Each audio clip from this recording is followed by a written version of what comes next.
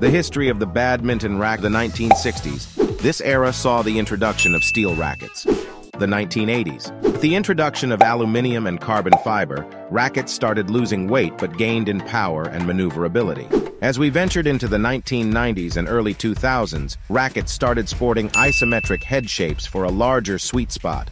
Aerodynamic designs for lightning-fast swings. Today, we're seeing the use of nanomaterials, experimental stringing patterns, and customizable weight and balance systems,